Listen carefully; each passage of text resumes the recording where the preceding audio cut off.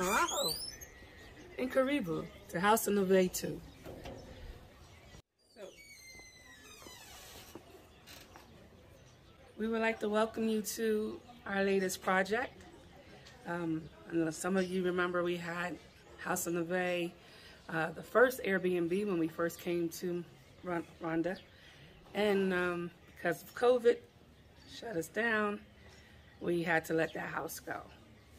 But thanks to my brother who had purchased this beautiful house here in Kibagabaga, he had partnered with us at Adilah's relocation services to pretty much turn his new investment property over to an Airbnb. So today we would like to show you what we've done so far and welcome you to House of Nevaeh 2.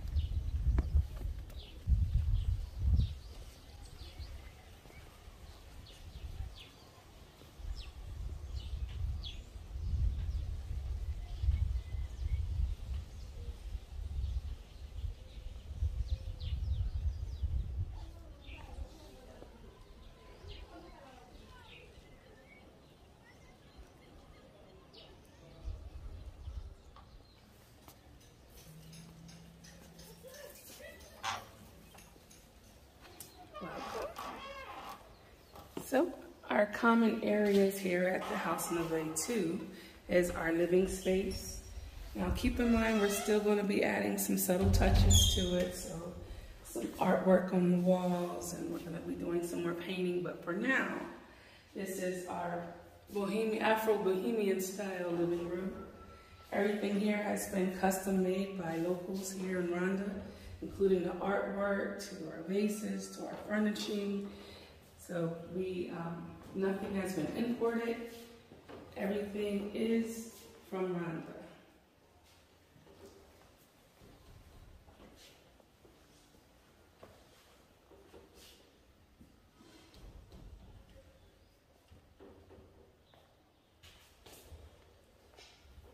Then our second common area is where you will have your breakfast buffet every morning with a chef that will come out to you included in your homestay. And we will have that here in, your, in our dining room. Again, everything here has been custom made here from our uh, local contractors. On our walls here, we have the Rwandan traditional Imigongo, um, which is their traditional art. And beautiful custom made furnishing from one of our favorite um, independent contractors here.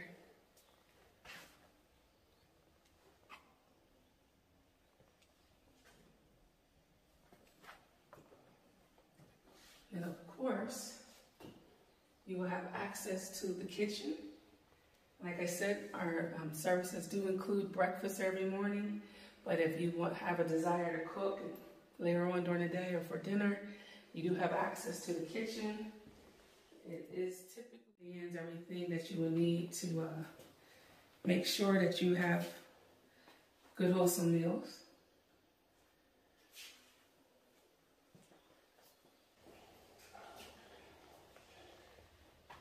So we would like to show you our first suite here. This is the ground floor garden view.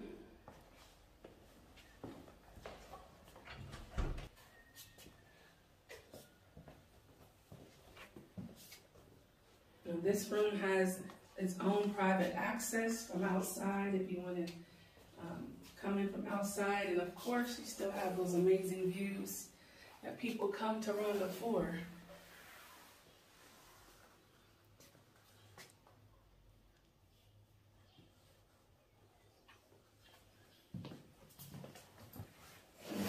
Private entry.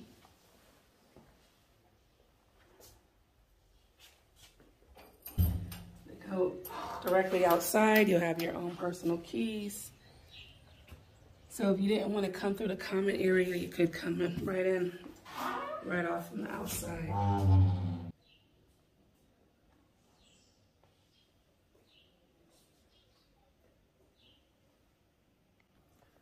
So each room is self-contained, meaning that it has its own bathroom. This is a typical uh, bathroom here in Rwanda.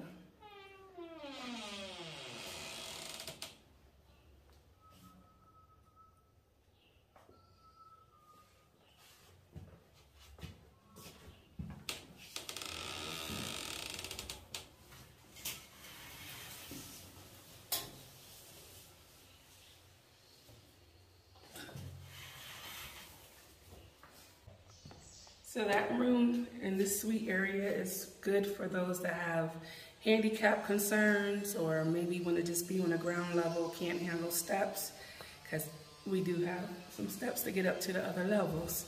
But for the mamas or anyone that needs to be on the ground level, this floor is perfect for you. This room is perfect for you. And let's go upstairs.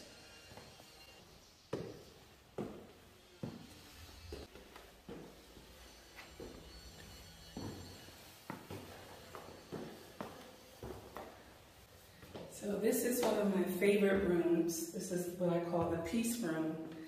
Uh, it's the first room that we had finished, and it just has a certain energy about it.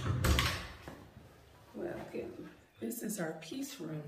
It just brings you a certain level of peace, has good energy here. It's in the front of the house, actually, and it comes with its own private patio. Doesn't have much views out here, but you have sounds, you have space. And again, it's self-contained, meaning it has its own private bathroom.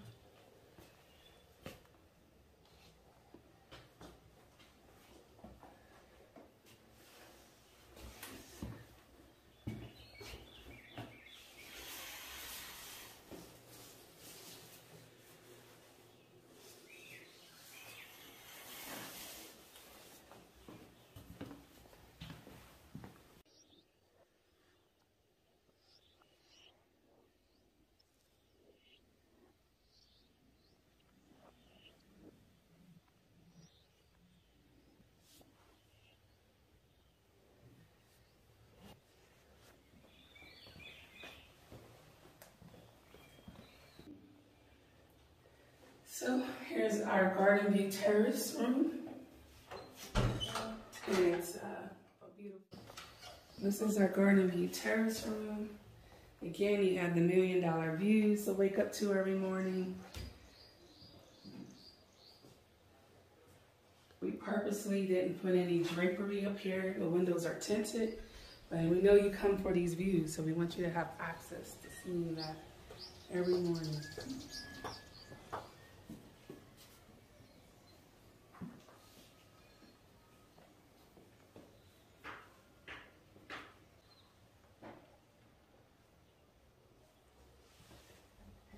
This bathroom is shared with the housekeeper. So, um, but for the main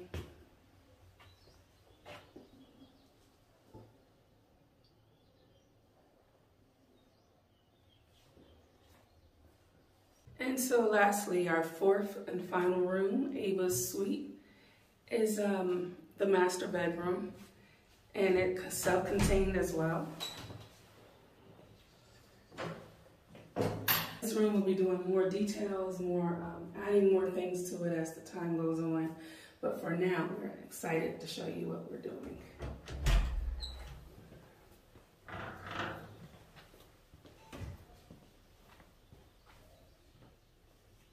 Again, we have um, beautiful art from locals here in Rwanda. Beautiful king-size bed, handcrafted by, again, um, local contractors here. Mosquito nets in case you need it, because rainy season is here.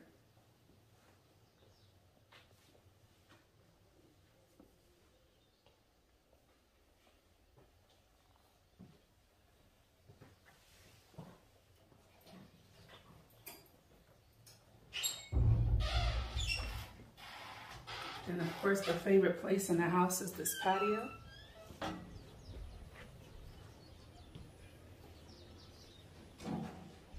Imagine waking up, having coffee on the patio, and this is what you're going to be looking at every morning.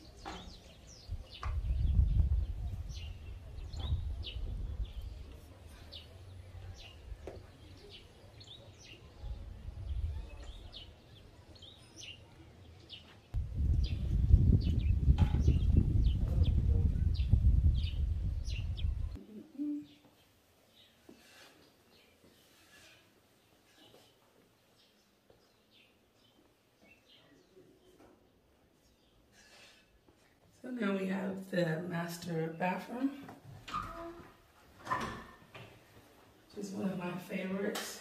This beautiful vanity set, full shower. The hot water works great throughout the whole house.